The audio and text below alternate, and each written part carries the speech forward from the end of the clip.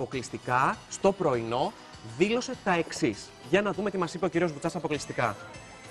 Τα χρήματα που μου πρότειναν για τη συνέχεια της Μύρνης ήταν χρήματα που θα έπρεπε να πάρω στην αρχή της καριέρας μου. Ήταν το 1 τρίτο της αμοιβής που έπαιρνα για την παράσταση «Σμύρνη μου αγαπημένη». Θεώρησα εξευτελιστικό το ποσό και είπα αντίο. Προφανώς θέλησαν να κάνουν οικονομία στα χρήματα των ηθοποιών. Στεναχωριέμαι πάρα πολύ για τη μιμή μου, γιατί τη μιμή Ντενίση την παραδέχομαι ως μεγάλο ταλέντο σε ό,τι κάνει στο θέατρο. Έχω ήδη κλείσει άλλη δουλειά στο θέατρο Λαμπέτη.